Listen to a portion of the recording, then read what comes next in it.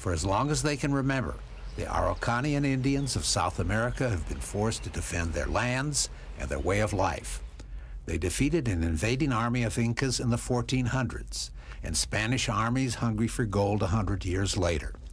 An endless stream of would-be settlers have challenged these proud people for their rich and beautiful land. The government of Chile finally promised the Pehuenches, the Araucarian pine people, that their ancestral lands would be protected. World wars and dictators have come and gone, but today the Pehuenches face their most serious threat ever, not from a foreign army or political despot, but from the electric company. We are looking now at the Pangue Dam, the first of uh, six dams that Endesa, a private company, wants to build, intends to build in the upper Biobío. Juan Pablo Orrego spends as much time here with the Pehuenche as he does in the Santiago offices of Grupo de Acción por el Biobío, of which he is founding director. He is leading the fight to prevent Endesa from building the second dam, the Ralco, whose reservoir would flood the Pehuenche's homelands. These people really belong here, really love this place, have this special relationship with these trees, with the river, with the land. Take it away from them. I think it's a crime. The Natural Resources Defense Council, an environmental advocacy group, has identified 14 species of animals and plants that will be pushed to extinction if the dams are built. Esto, nosotros, ¿por qué estimamos los pinos araucaria?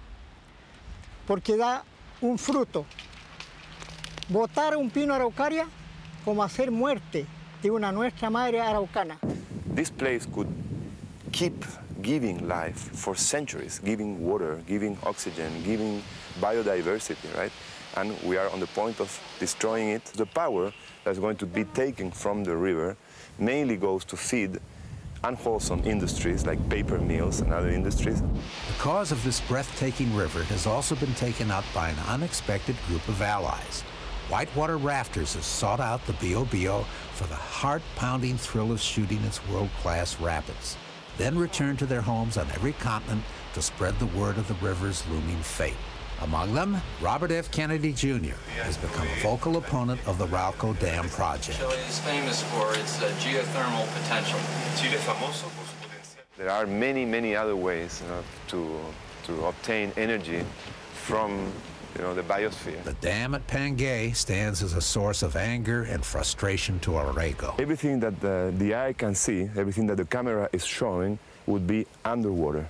Between Ralco and Pangue, the valley of the Biobío would, that would be flooded would be 70 kilometers long. His combination of vocal advocacy, political savvy, and astute orchestration of the international media has put a stop to construction of the Ralco, for now. Over the last six years, Juan Pablo Orrego has begun to emerge as the conscience of his country. He will tell you that its heart is the Biobío. I think this battle called me somehow. Somehow I feel that uh, life uh, put me here, you know? There's more than your tiny human will involved in all this. I've been working with the indigenous people for years now. And that was one of the reasons I came to the Upper Biobío. I knew the, the existence of the, of the Pehuenche. This is our world, this is us, you know?